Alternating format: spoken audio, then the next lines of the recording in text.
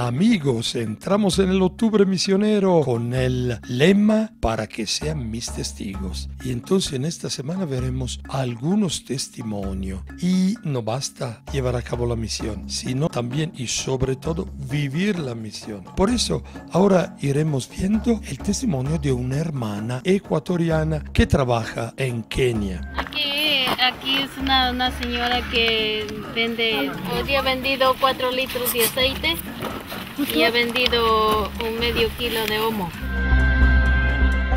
Si vamos a caminar más hacia afuera, vemos niños desnudos, gente adulta desnuda. Pero lo que más me impresionaba era verles morir de hambre. Lo veía en la televisión en Ecuador, pero nunca yo me imaginé verlo vivo así. Pero llegando aquí fuimos a los campos, a los lugares donde no entraba ni la comida ni nada. Encontrar ahí una persona tirada, un anciano con solo huesos, heridas, que los moscos y tanta cosa. Entonces yo digo, ¿y, qué? ¿y ese es humano? ¿Por qué esa persona humana tiene que estar muriendo ahí de hambre?